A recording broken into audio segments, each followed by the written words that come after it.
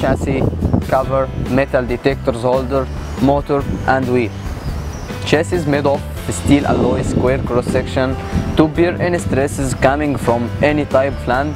Adding to steel alloy is easy manufacturing and low cost. Metal detector holder is made of uh, non-metallic material to avoid any electrical signals. In locomotion system we use the UGV system by using four wheels connecting to four DC motors. We use a DC motor with gearbox 143 RPM speed, 50 kg centi torque. We choose a desert wheel with a diameter of 30 cm and a thickness of 10 cm as so not to strain the sand and gives a great speed.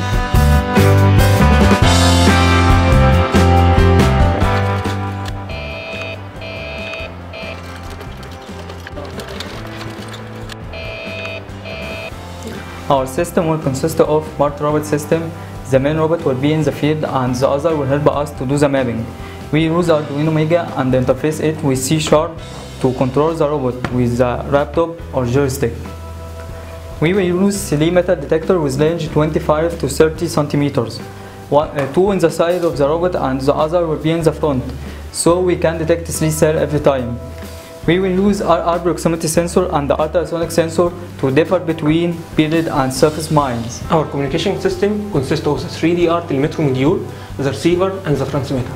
The receiver is connected to the laptop through the COM port to send the data to the GUI and the transmitter is connected to the microcontroller on the robot. We use C-sharp programming language to make our GUI. The GUI consists of two main parts, the communication part and the map.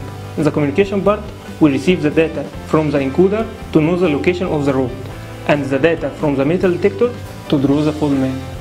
For mapping system, we use multi-robot, one robot on the field to detect the mine and another robot outside the field to send the location of the robot to the GUI.